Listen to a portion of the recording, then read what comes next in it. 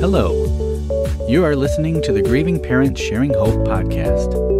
We are here to walk with parents on their unwanted journey of child loss, guiding them to a place of hope, light, and purpose, not in spite of their child's death, but as a way to honor his or her life. And now, here is your host, author, speaker, and bereaved parent, Laura Diehl.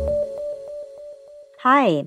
This week's podcast episode is being sponsored by a bereaver couple in the Netherlands, Basia Sukovieko and Sebastian Burkos, in honor of their son, Gabriel, who was born on earth to bloom in heaven. Basia says, We lost Gabriel very early. It was a premature birth at 21 weeks of pregnancy, so he did not get to live on this earth with us. His birth date and departure date are the same, December 9th, 2023, so quite recently he went to live in heaven. This week in March, Basia and Sebastian hit the three month mark without their little Gabriel Burkos, and I'm sure they have your hearts and your prayers. Thank you, Basia and Sebastian, for sponsoring today's episode in honor and memory of your precious little Gabriel. I have talked about this topic before, but I think it is important to remind some of us of this. And for others, this is probably new information because unfortunately, it is still way too common to hear about what is called the five stages of grief after someone we love dies. And those stages are denial, anger, bargaining, depression, and acceptance. Now, I am telling you, there is no such thing. Does that make you feel relieved? I certainly hope so. Even many counselors do not realize these five stages of grief were introduced in a book called Death and Dying by a psychiatrist named Elisabeth Kubler Ross back in 1969. Now, this book and what she wrote was inspired by her work with terminally ill patients as her reflection of what they go through in facing their own mortality when they're diagnosed with a disease they cannot recover from. In other words, these five stages of grief was her observation that people go through when they've been told there's nothing else we can do. And this person is coming to terms with their own death that is going to happen. Let's think about this denial. That makes sense, right? Anger. That makes sense bargaining makes a whole lot of sense when you're talking about your own death. God, if you keep me alive, I'll do this, you know, th- that kind of a bargaining. Now, how in the world, where's the bargaining if this, if these five stages of grief are supposed to be for those of us who have lost someone like our child? What is there to bargain with? Our child's already gone, right? I'm, I'm not, I'm not even sure where this bargaining stage comes in. You know, God take me instead of my child if our child is sick. But even that bargaining piece doesn't even make sense to me when we're talking about grieving someone's death, but it makes all the sense in the world when you're talking about someone who knows they are dying. And then there's depression and then the acceptance. It was not, like I said, for a pattern for grieving the death of a loved one. These are not stops where we hang out on some kind of a grief timeline. As a matter of fact, it seems that later in her life, Kubler Ross noted that these five stages are not linear, like people try to make them sound like they are. They're not a linear and predictable progression, even for the terminally ill and that she regretted writing them in a way that was so misunderstood, and how people use it as five stages for those of us who are grieving the death of someone we love. So, if you have been concerned that you have not been following these five stages of grief, it's okay. Now, before we moved into the Hope Mobile, whenever I sat at my desk, I was surrounded by memories of my daughter. As a matter of fact, the desk I sat in was my daughter's desk. And some days those memories would make me smile, and other days they would once again bring me to tears. Now, holidays and special events definitely have this same issue. Some years are filled with tears, others are filled with warm memories that bring smiles and even laughter. And I have learned that it's okay because there's no timeline, there's no right or wrong way to grieve. for not having our child or our children here on earth with us. It's okay to be smiling one minute and crying the next. It's okay to be able to go to one event but not be able to go to the next event. It's okay to want to talk about my child with someone who misses her or to not want to talk about my child right now to anyone.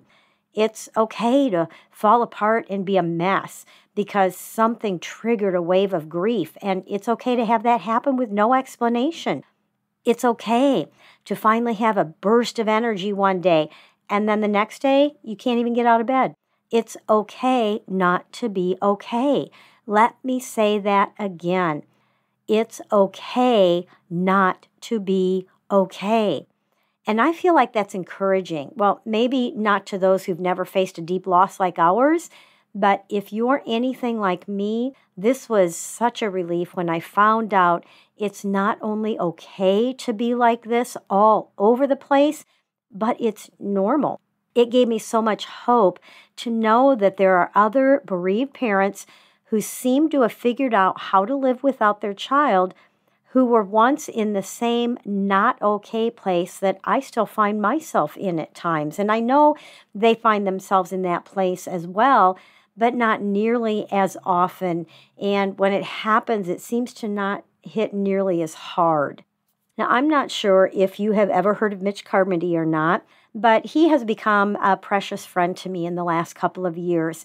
And for many years, he was one of the most known and sought after speakers in the world of bereaved parents, having given his life to those who are grieving after the loss of his nine year old son, Kelly, over 30 years ago. Now, he's now retired from traveling and speaking. He doesn't do much of that hardly anymore. But a few years ago, Mitch posted a video. You can still find it on YouTube. I'll put a link to it in the show notes. And the only way I can describe this video is that he allowed us to enter a sacred moment in time for him and his wife. They had just signed the papers to sell their farm that they had lived on for over two decades, and they were moving to another state. They were actually moving here to Wisconsin. And together, they decided it was time. After 30 years of still having many of their son Kelly's possessions in a large trunk, they pulled out just a few items and then they burned the entire trunk with most of the items still inside, which included the blanket he died in and all of the condolence cards received, instead of taking all of these momentums with them when they moved. And like I said, this was 30 years later that they were finally ready to part with this trunk full of Kelly's things. And it just made me so thankful to have people like this ahead of me, people who are willing to let us know things like it's okay if you still have your child's room the same way years later, even if nobody understands. It's okay. It's normal and it's okay to hang on to as much as we can of our child who's no longer with us on earth for years and years and years. There is no timeline, and there is no right or wrong way to grieve and remember our children. Well, let me add, unless you are harming yourself or somebody around you. But other than that, there is no right or wrong way, and there is no timeline. There is nothing linear about grieving the death of our child. It's like being on a crazy, wild roller coaster that goes up and down and huge hills and small hills, and it whips us around corners and it turns us upside down. Sometimes those spiral turns that you just go around and round and round and upside down. And then all of a sudden you hit a curve and it jolts you around. And sometimes it even feels like all of that is happening in a dark tunnel. So we can't see where or how we're going to be thrown around next. Does that kind of sound like how you feel sometimes? There is no such thing as going through five stages of grief, especially when it is your child who has passed. This is a trauma, and you are healing from a trauma, and that takes a long time. And yes, you may experience those what are called stages at some point. You may hit them at different times, at different intensities, but you are the only one who can determine what grieving your child needs to be for you. And those first two or three years or so can feel like nothing but a tangled mess, not a bunch of grief stages we are supposed to be working our way through. Is the Grieving Parents Sharing Hope podcast been a blessing to you? Is what I share here each week helping you with the loss of your child and giving you some hope? If so, would you consider giving it a rating, hopefully five stars, and a review on whatever platform you use to listen to me and share hope with you each week? Just click on the show itself, scroll and find where you find the stars to give a review, and tap on how many stars you think I deserve with this podcast. Like I said, hopefully five. And then select Write a Review and tell those who might be considering listening why you like this podcast and how it has helped you. You don't have to write anything really long, just takes a few seconds. And this is one way you can be a grieving parent sharing hope because you're giving hope to someone else that, yes, listen to this podcast. It's going to help you. And this is how it's helped me. Also, remember to share this podcast, Grieving Parents Sharing Hope, with other bereavers who need the hope that you have been receiving. And I just want to say thank you for that. Let's go ahead with today's birthday segment. Patrick Palazzo was born on March 2nd and is forever 24. Aaron Wright was born on March 3rd and is forever 32. Jonathan Van Vertigem was born on March 6th and is forever 19. We celebrate the day these children came into the world and into the lives of these families. We know it will always be an important and a special day worth celebrating. If you would like to have your child's birthday announced the week of his or her birthday, I would love to be able to do that for you. Just go to gpshope.org slash birthdays. Fill out that form, submit the information, and I will share your child's birthday with the listeners the week of his or her birthday. Dave will also send you an email to remind you to listen that week. I want to say thank you again to Basia and Sebastian for sponsoring today's episode in memory of your precious little Gabriel. If you would like to sponsor an episode in honor and memory of your child, it's just a $50 tax free donation to GPS Hope to help us keep going. And you can pick the week that you would like to sponsor and write up what you want shared, what you want the listeners to know about your child that I will read to everyone. Just go to gpshope.org, go to the donation tab, and find where it says sponsor a podcast episode. Click on that, and you'll see the rest of it there It'll show you what to do, and I would love to be able to share your child with the other listeners.